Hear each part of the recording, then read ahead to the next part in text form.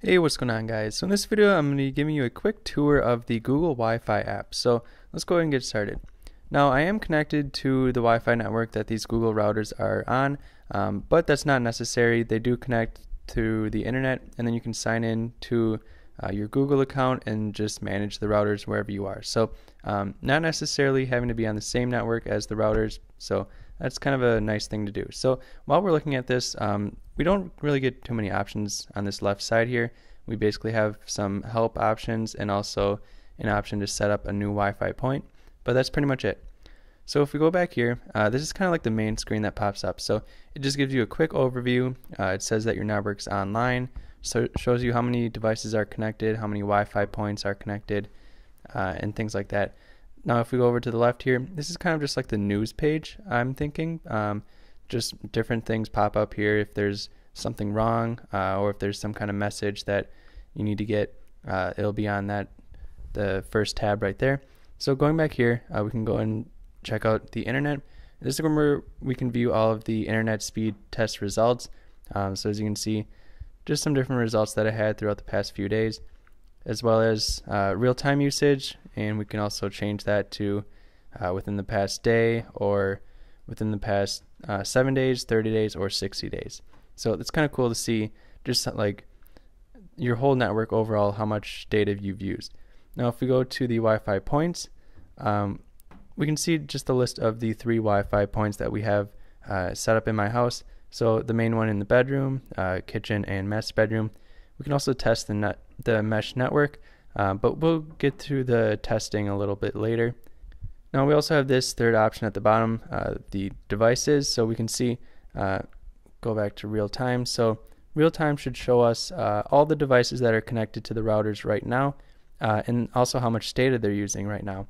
Unfortunately, this is delayed a few seconds, so it takes a uh, like five seconds to refresh, and then uh, it'll show you that information. But still really cool. we can down here, really just the option to prioritize a device. Uh, we'll get to that again uh, in the next little tab. So let's go back.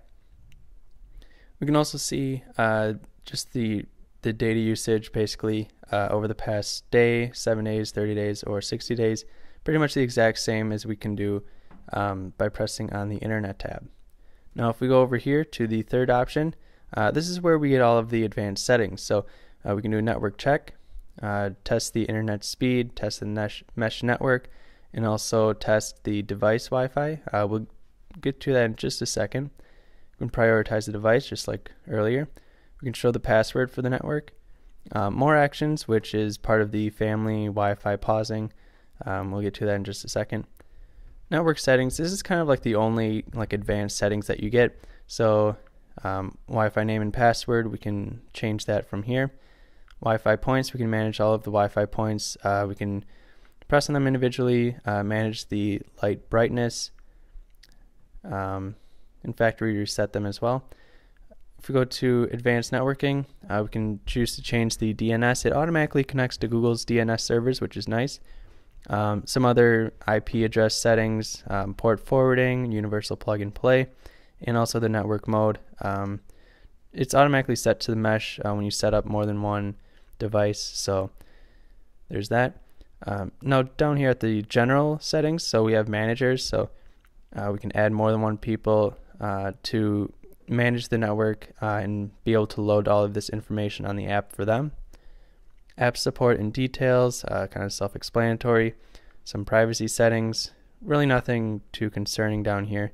Email notifications, um, you know, nothing too special. Uh, we can go over to the family Wi-Fi now. I don't have this set up, but basically you can like group all of the devices from one person. Um, oop, kicked me out there. So uh, you can group all the devices from one person and pause them um, all at the same time, making it really easy. So if we go ahead and set this up, set it up as me. And then we can choose all my devices and then um, if I ever want to, for some reason, turn off the internet access to one device, um, or I guess all my devices, I just choose to uh, pause the internet for Peyton, and that's pretty much it. But I'm not going to set that up. I don't really have a need for it. All right, so next thing we have the guest Wi-Fi network. Uh, we do have to have a password on this, and then we just share the password. Uh, I don't know how they share the password. Uh, I'm guessing through just like a text message or something, but there's an option for that.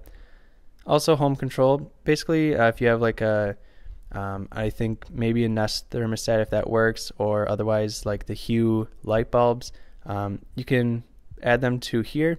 And basically, if someone goes to um, on dot here when they're connected to the Wi-Fi network on their web browser, so like literally just on dot here, uh, then they can go ahead and manage all those devices uh, when they're connected to the network, which is pretty cool. Uh, gives people an easy way to manage uh, the lights and everything without having to like get an app and all that stuff. So um, we can go back to the uh, network check. Uh, we'll go through these. So test internet, basically this is just like a regular internet speed test. Uh, it goes from your main router to the internet and just tests it just like normal, uh, just as you would expect, like a regular speed test would do. So we'll go ahead and do this and we'll show the results quick.